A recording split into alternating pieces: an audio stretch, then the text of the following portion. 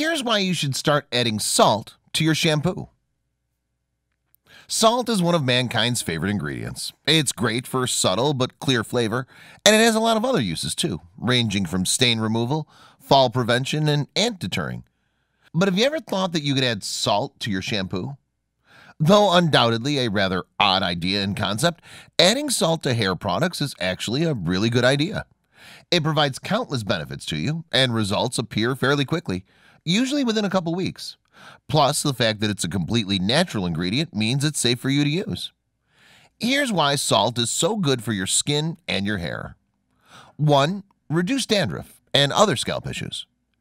Dandruff is a very annoying problem, but it's only one of the many problems your scalp may face.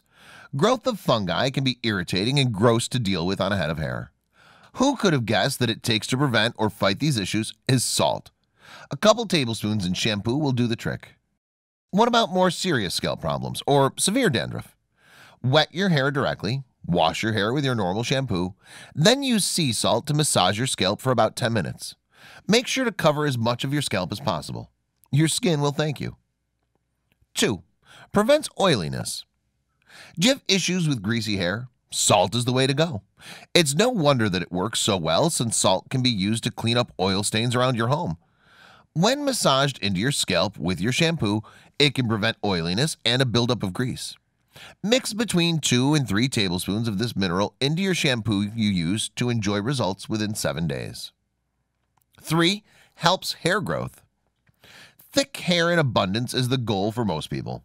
While salt can't grant you this necessarily, it can definitely help to stimulate the scalp so new hair grows.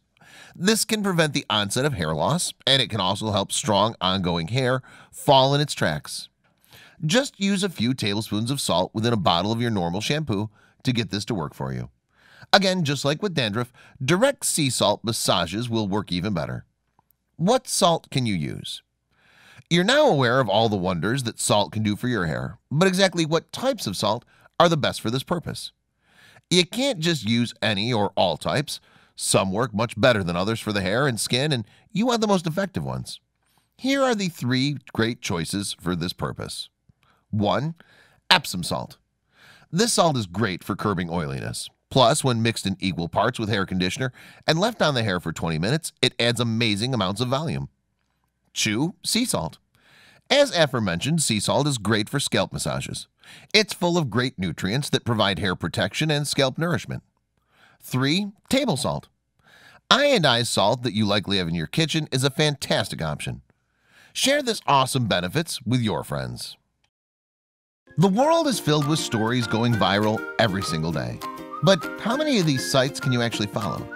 We understand that your day should start with positive stories, stories that resonate with you. And so we started JoJo Stories. Our mission is to create meaningful stories that cover everything from animals to anthropology, history to environment and lifestyle. The kind of content you read on our site will be one you'll want to share with your family and friends. We hope you'll join our growing family and be part of our community. Welcome to JoJo Stories. JoJoStories.com